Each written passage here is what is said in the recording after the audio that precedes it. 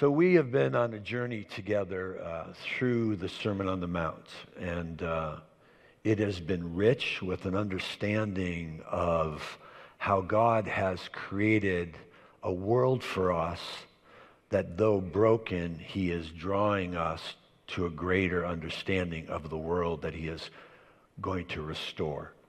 And so, the kingdom uh, of God and the Sermon on the Mount is his teaching us about what the value system of that kingdom looks like and how different it is than the world in which we live.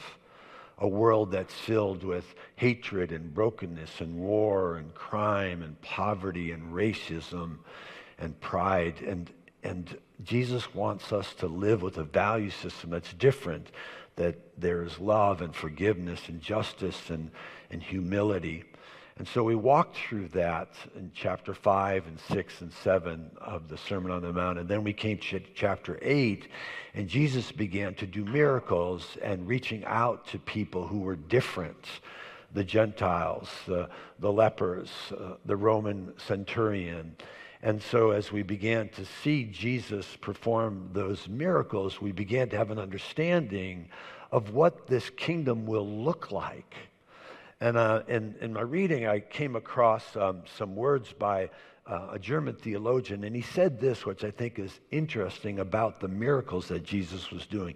He says, When Jesus expels demons and heals the sick, he is driving out of creations the powers of destruction and is healing and restoring created beings who are hurt and who are sick.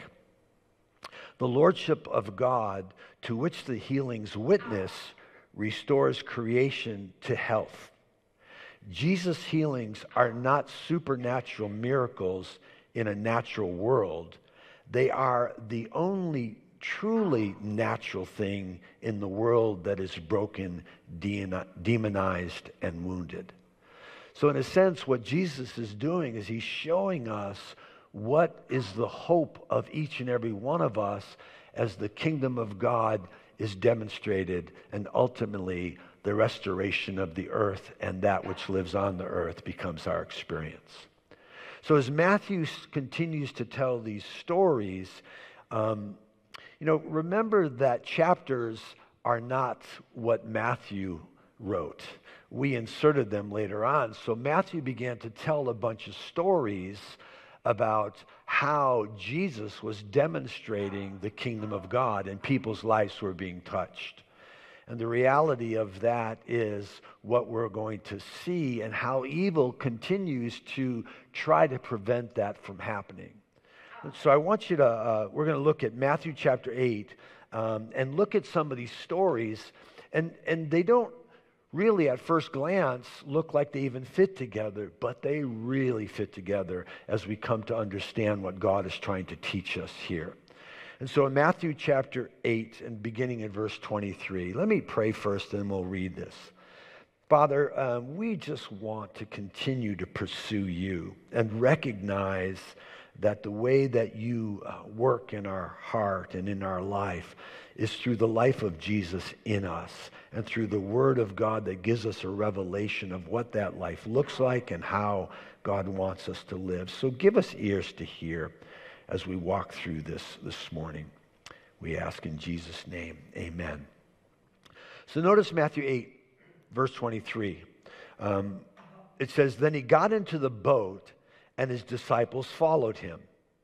Then suddenly a storm came up on the lake, and this is talking about the, what we know the Sea of Galilee, which is really a lake, uh, maybe 15 miles, so that the waves swept over the boat.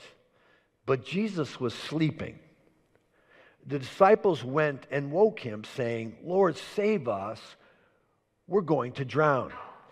He replied, You of little faith, why are you so afraid? Then he got up and rebuked the winds and the waves, and it was completely calm. The men, these are the disciples, were amazed and asked, What kind of man is this? Even the winds and the waves obey him. So when we think about Matthew, the author, we have to be asking ourselves the question why would he tell us this story? And what does this story mean for us and for the disciples for that matter? And when we recognize this story, I think it's important for us to, to sort of look back on the fact that Matthew is writing to Jewish people. And these disciples, who are Jews, had an inclination that they completely forgot. Because if we go back to the story of Israel from the beginning, as it is true of us, if you've been in America and you've been in around Christianity, you know that one of the greatest days, if you will, on the Christian calendar is the day that we call Easter. And the reason it's so important is because resurrection took place on that, and that resurrection represented to us Jesus' overcoming of evil, Jesus' overcoming of sin, Jesus is giving us the Holy Spirit, Jesus offering us forgiveness. There's probably no greater day than that day, and we celebrate it year after year after year. So even if you are not a follower of Jesus, you know what Easter Sunday is all about. Not unlike these Jews who, when they had a special day, that day was the Passover, right?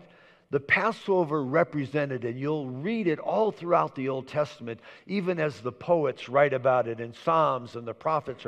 They write about this day. And you know the day where the, the Moses had heard from God, and Moses went to Pharaoh, and he said 10 times, Pharaoh, let my people go. And, and Pharaoh kept saying, No, no, no. And then all of a sudden, God said, There is this day. I want you to take the lamb of the, of the of the blood of the Lamb, and I want you to put it on your doorposts, right? And I'm going to send the angel of death. Then that angel of death is going to pass over Egypt, and all the firstborn of the Egyptians will die. Because Pharaoh, who is the epitome of evil, will not let my people go. And they battled over it, and there were miracles and counterfeits. Then ultimately, this day takes place. And Israel, led by Moses, begins to be leaving Egypt because Pharaoh had enough.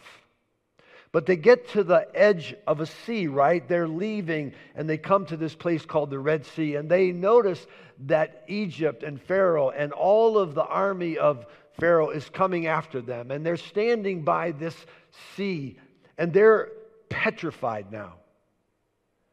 And God says to Moses, He says, Stand still and watch the power of God.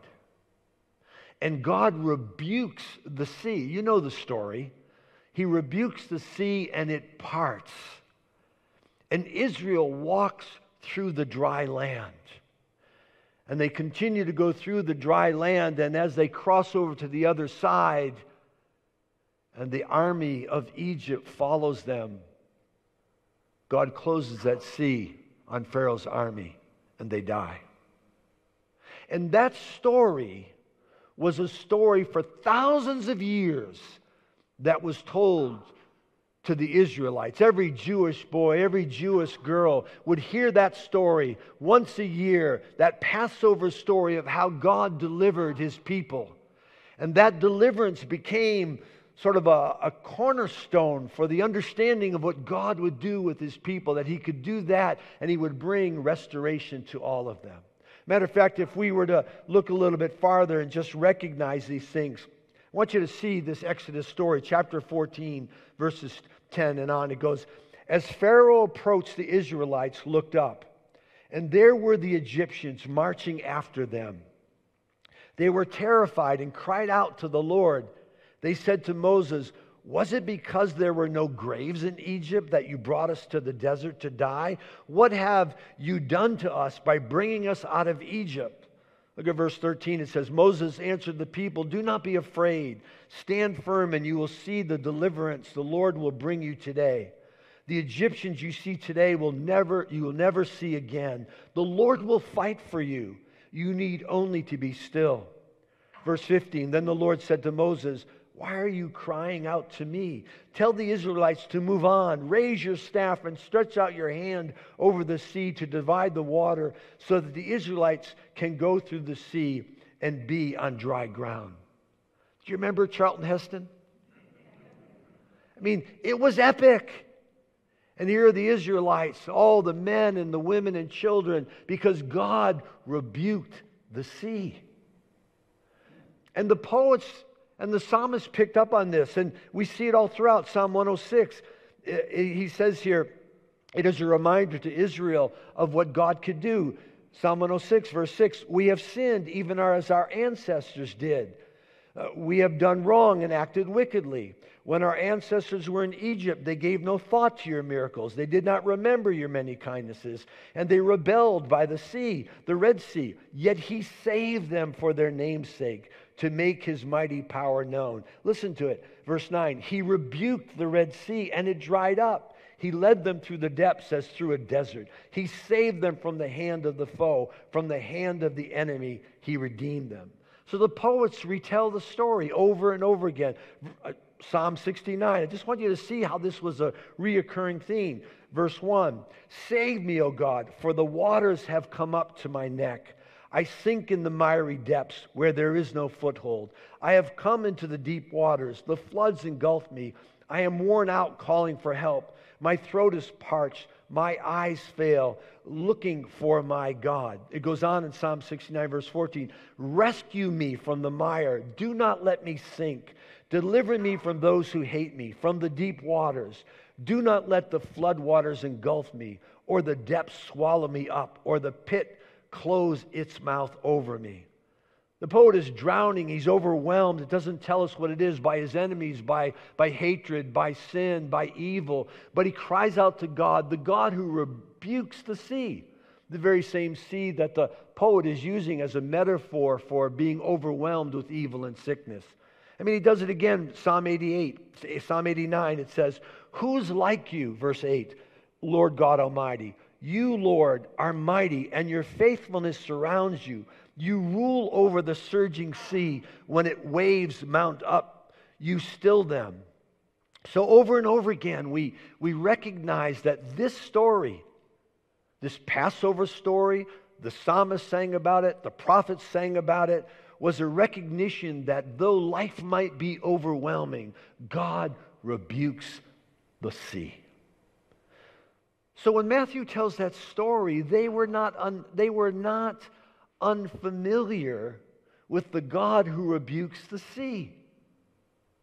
They heard it over and over and over again. I thought, they're asking the question who is this man? And I wondered if that was not also the case with us sometimes. We sit in church Sunday after Sunday after Sunday after Sunday, and we ask the question who is this man? He shows up and we don't recognize him we allow things that in the world, like the mire of the COVID or whatever, it might be, our difficulty, our jobs, our families, and He comes and He wants to rebuke and He wants to reveal to us, as it was true of the Passover, it is true in resurrection, it is true in His promises, it is true in the scriptures that our God calms the wind and gives us peace in the midst of the storm. And He does it, and they say, Who is this guy? And it's a challenge to all of us because sometimes we get so familiar, we fail to recognize who He is. And Jesus said it well, right? A prophet is without honor in his own country. And the danger of being churchgoers, the danger of being followers of Christ, the danger of doing this week after week after week, it's so easily become ritualistic that when we're in the midst of a real season of difficulty, like COVID, we forget who He is. That He is the same yesterday, today, and forever. He is the one who rebukes the sea. He is the one that is not intimidated by disease or sickness or whatever might come our way. But I wonder if some of those things aren't just opportunities for us to recognize and be a little bit introspective to our own statements of failing to recognize who He is in the midst of this season in which we live. Even as Max just said it in the song that we sang, It is Well with My Soul, the song says, He calms the sea. Because it is a metaphor for what we go through. And the reality is that he who took the full front of evil and went to the cross and died. And it wasn't the blood of a lamb, but it was the blood of the Son of God who was shed that we might have eternal life. And so when Paul says in Romans 8 31, if God be for us, who can be against us? That maybe seasons like this are opportunities for us to live in the boldness and in the love and in the joy and in the confidence that our God is the king of the sea. But notice what goes on here, which is interesting because they thought they were going to drown. And I wonder, even in our culture today, if we don't think at times like somebody else is in charge. And we enter into a fray that is not even our fight to, uh, our, our fray to fight. Love is still stronger than death. And resurrection has meant the full blow of evil and came out victorious. And so, in these seasons where confusion and slander and accusation and heartache come at us in such a way that we lose sight of who we are and who our God is, may we not be like the disciples and ask the question who is this man? May we celebrate the one who rebukes the sea. Because notice what, what, what Matthew does here in this story. Because I think the sea is a little bit about what Paul says in Ephesians chapter 4. He says to us, Don't be tossed to and fro by every wind of doctrine that comes our way. But be a people who are rooted and grounded in the truth and in the power of a God who not only was raised from the dead, but has given each and every one of us new hearts and new opportunities through the new birth to live our life victoriously. But notice the contrast in this, in this next story that he tells, verse 28. When he arrived at the other side in the region of the Gadarenes, two demon possessed men coming from the tombs met him. They were so violent that no one could pass that way. Notice what they say What do you want with us, Son of God? The disciples ask who is this guy? And the demons say, Son of God. It's a little strange, isn't it? That sometimes the demons know better about who he is than God's people. And the reality is that it goes on Have you come to torture us before the appointed time? So, Matthew, in the story, instead of answering the question raised in verse 27, when the disciples say, who is this man? He tells us this other story about these demons in these two men who know who Jesus is immediately. And all of a sudden, this story begins to unfold and challenge the reader to come to our own conclusion. Who do men say that I am? Because at the end of the day, that's the only question that really merits an answer. And that might be the only question that God asks us Who do you think this man is? Many of you maybe have come across the book Lord, Liar, or Lunatic, written by Josh McDowell a number of years ago. But that's the question Who is he? Is he a liar? Is he a lunatic? Or is he the Lord of our life, the Lord of life and death? And so it goes on to say, What do you want with us, Son of God? They shouted. And then all of a sudden, we recognize they already see their future. Because Jesus in Colossians chapter 2, it is said, openly disarmed the devil and his demons and openly and publicly made a display of them, that all that they could throw at him could not contain him, for he would, by giving himself and making himself vulnerable, would ultimately become victorious over sin and Satan and all that the world and its brokenness had experienced. And so the question for us, I think, is what do we do? Um, with this story because Jesus is going about demonstrating his power over evil and over wickedness. And I'm challenged that maybe, you know, the, the Bible says in James chapter 2, uh, the devil, the demons, they believe, as we see in this story, and they tremble. And sometimes maybe evil has a greater understanding of who Jesus is than God's people. And because when you go on to the, and read this story, we, we recognize that there is a sense that Matthew is telling us evil exists. And these are the words of Paul to the Ephesians in chapter 6, verse 12. He says, For our struggle is not against flesh and blood, but against the rulers, against the authorities, against the powers of this dark world, and against the spiritual forces of evil in the heavenly realms. Jesus is challenging us, even challenging us as the status quo, as Matthew is challenging us to recognize we don't wrestle only against flesh and blood. Paul knew that. Paul was beaten, Paul was in prison, Paul had all kinds of hardship, but he knew behind it all was something that we have seemed to lose our awareness of. And it's called evil. Evil exists Matthew tells us it exists. But the crazy thing about this story, when we read on, verse 30, some distance from them was a large herd of pigs that were feeding. The demons begged Jesus, If you drive us out, send us into the herd of pigs. He said to them, Go. So they came out and went into the pigs, and the whole herd rushed down the steep bank into the lake and died in the water. Strange story. So those demons went from those two individuals into the pigs, and the demons threw the pigs into the water and they died. notice what happens is those tending the pigs ran off and went into the town and reported all this, including what had happened to the demon possessed men. Then the whole town went out to meet Jesus and when they saw him, they pleaded with him to leave the region. Never come back. The town wanted the demons more than they wanted Jesus.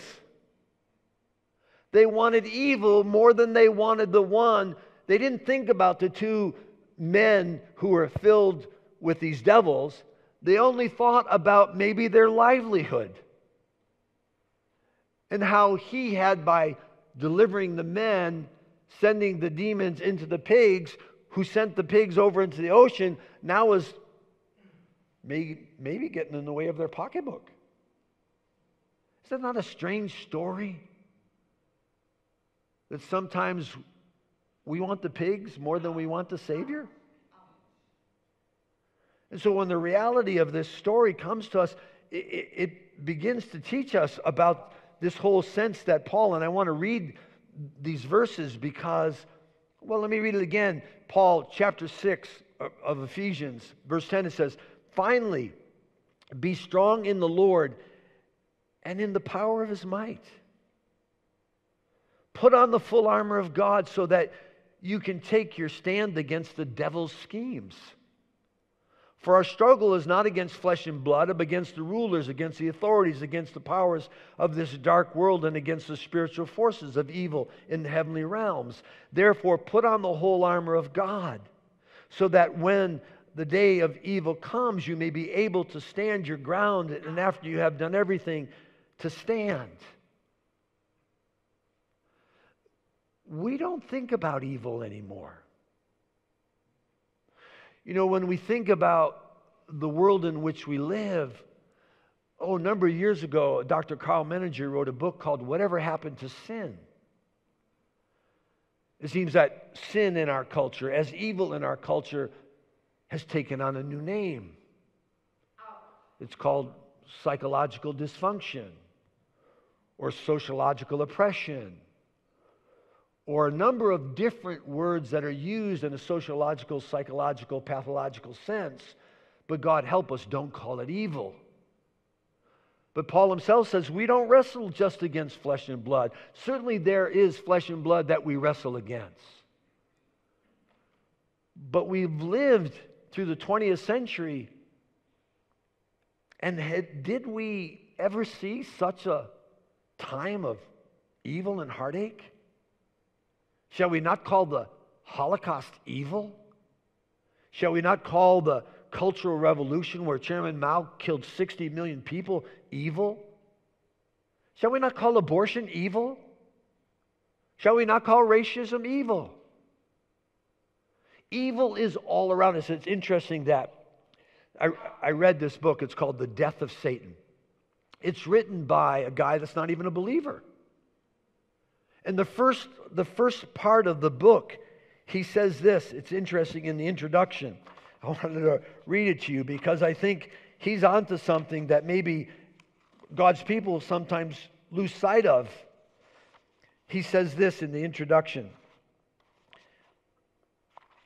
He says, A gulf has opened up in our culture between the visibility of evil and the intellectual resources available for coping with it. We think that we're going to overcome evil with societal norms or reform. We're going to deal with systemic issues, and all of a sudden, without a transcendent value system, without a new birth of the heart, without dealing with the reality that only the gospel changes people, that we're somehow going to deal with all of the evil that exists by creating systems and structures and programs and laws to ultimately put evil away. It didn't happen in Germany. Marx said, you know, evil is the fact that the pro- proletariat was oppressed, and therefore we need to set them free. And when the proletariat was set free, they became just as evil as their oppressor. Because evil exists. Evil can't be reduced to behaviorism. Evil can't be reduced to poverty. Evil can't be reduced to a lack of education. Evil can't be reduced to racism only in terms of the color of a person's skin.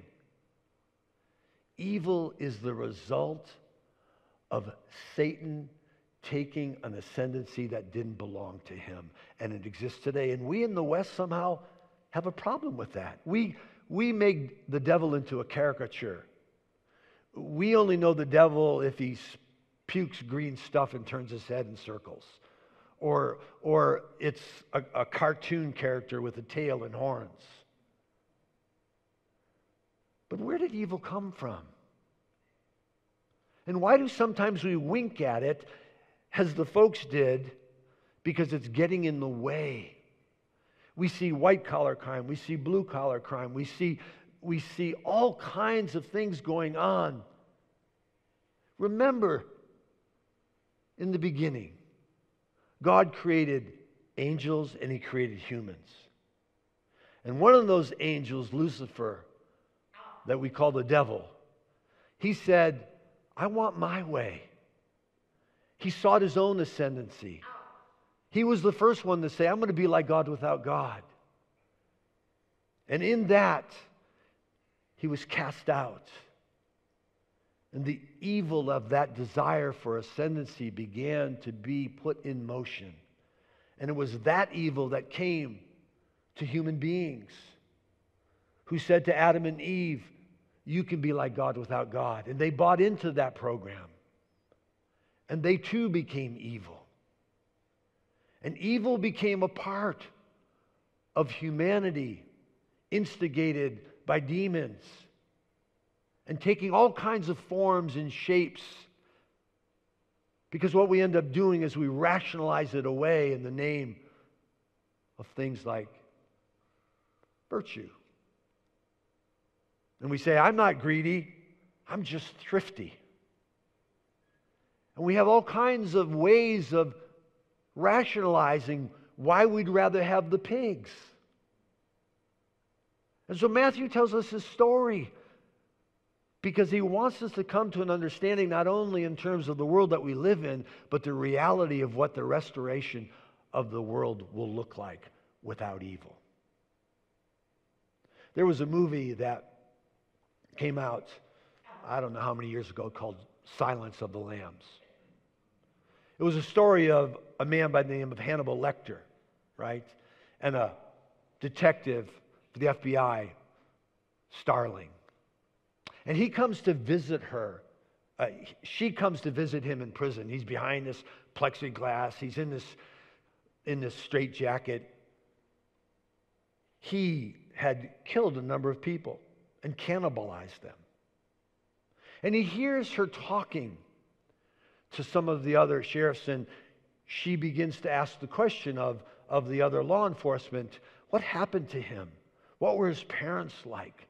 Was he abused? Where did he go wrong? And he overhears it.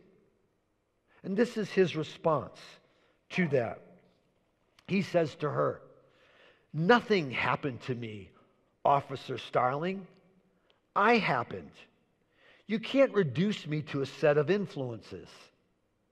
You've given up good and evil for behaviorism, Officer Starling. You've got everybody in moral dignity pants. Nothing is ever anybody's fault. Look at me, Officer Starling. Can you stand to say I'm evil?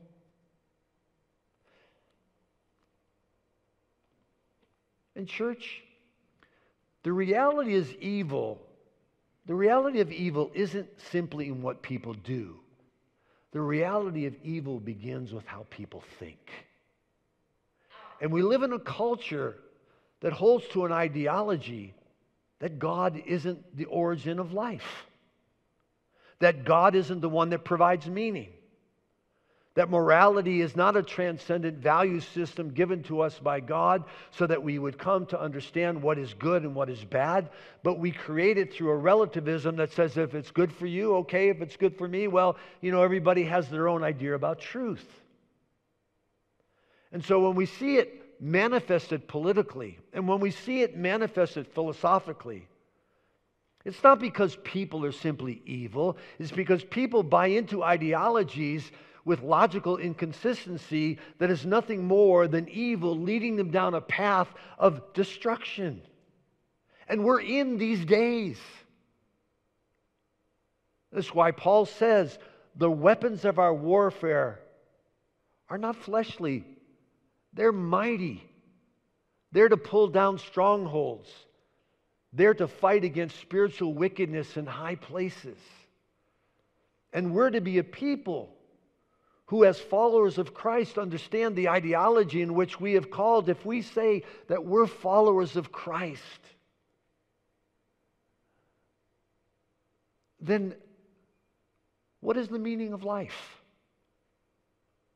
It's not about looking at a situation and then pointing fingers at people and then f- fighting that flesh and blood and fighting because people are deceived. Who is the devil anyway?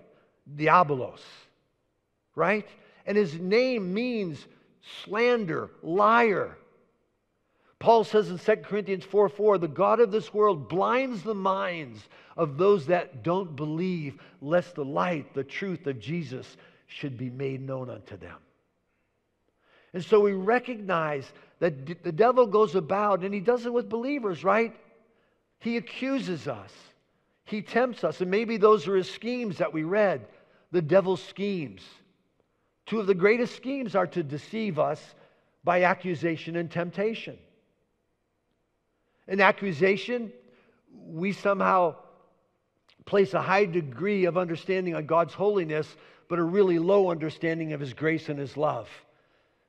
And therefore, we don't live up to the holiness. And so, therefore, we find ourselves being accused even by the, our own self talk. And we accuse ourselves of not being a good believer or a good Christian or a good person. And it begins to bring depression into our life. It begins to bring guilt and shame into our life. And we begin to be incapacitated by our guilt and shame because the devil is whispering into our ears, we're not good enough. And maybe that's true, but Jesus is way good enough. And while it is true that we are greater sinners than we ever want to admit, we are greater loved than we could ever imagine. That's the gospel. So when the devil points at our sin, we point at our Savior. And we say, He has performed on my behalf. He is the King. of all of creation. But the devil comes and he wants to accuse us of not being good enough. You know, the should have, could have, would have. And if that doesn't work, then he comes to us and tempts us. And temptation is oftentimes the result of the imbalance of us really believing in God's love, but not so much in His truth or His holiness. And sometimes we think more highly of ourselves because of His love, and we end up thinking we can get away with things. And I know that's true because that had been my experience, thinking I was all that in a bag of chips as a young pastor having a successful church. I knew He loved me. But I sort of,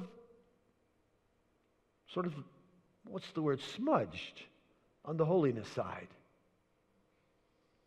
And the devil knows us and he uses, he doesn't turn good people into bad people. He takes our flaws and twists them and uses them against us.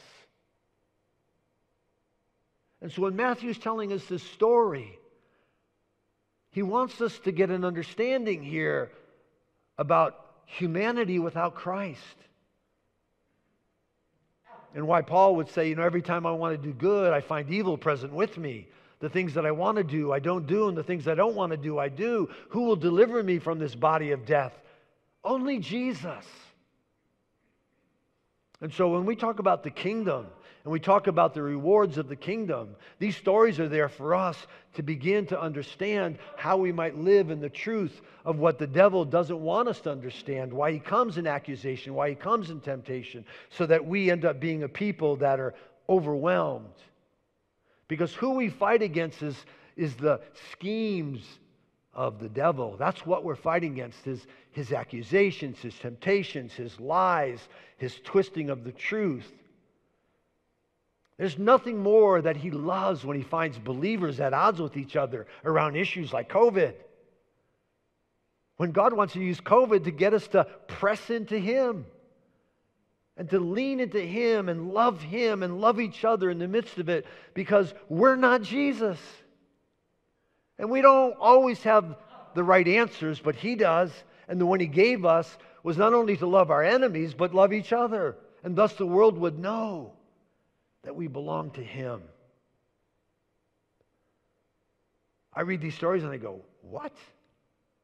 And yet I look more and look and more and look more at this story and story and I say, God, you're talking to me again.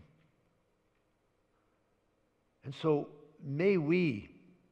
I find when I read this book, I, I was amazed. This guy's not a believer, yet he has a better understanding of evil than most followers of Christ.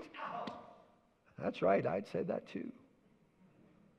The reality of it is that we have to press into Christ, His truth, and His grace. For grace and truth is what He came to deliver. And find that balance to live our lives in such a way that we ultimately become a people that live so that we don't fall prey to that. You know, it's interesting. If you go to other parts of the world, they don't have a problem with the devil or evil. But not Americans. We're way too sophisticated for that. And in our sophistication, we're as naive as it gets. Because we look out at the world. I was reading some stuff about the, the civil war in Yugoslavia when that took place and what they did to each other. And if you read that and you don't want to throw up,